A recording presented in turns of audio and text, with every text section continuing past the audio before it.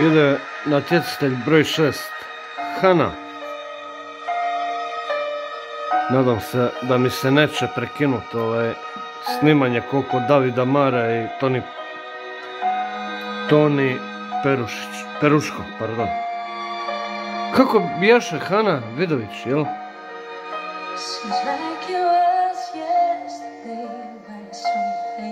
Eko Ragu.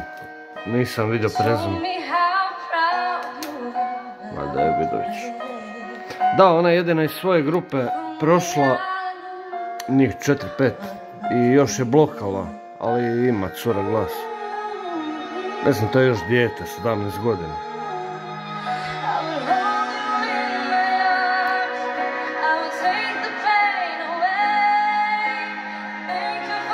Pjesma od Kristine Aguilera.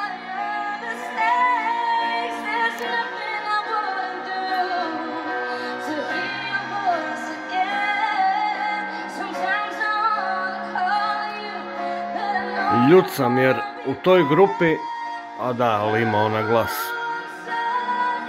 Ima, ima glas. Ali još jedna cura u toj grupi gdje ona bila u Rikolu imala glas. Ona crveno kosa, s kosom u rep. E to ne mogu preboliti što ne prošlo.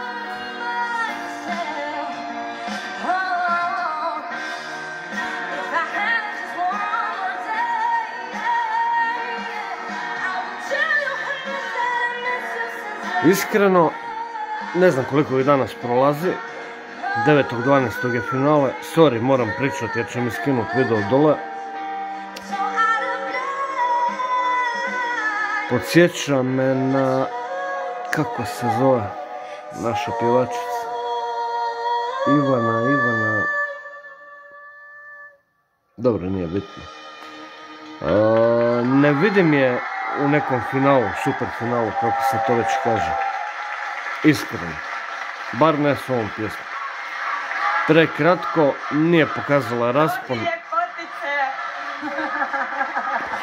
Ali svaka čast za 17 godina. Uzbuđena, dođi tu stani na svoju zvijezdanu poziciju da te lijepo svi vide. Ljudi sa 25-30 imaju tremu.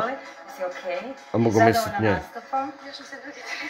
Idemo to uploadat pa idemo dalje. Sutra ide ostatak i reupload Davida Mara i Toni Peruška. u zagradi. A Ivković? Nije. Vidović. Hrabra. A znaš zašto? Zašto? Jezivo teška pesma.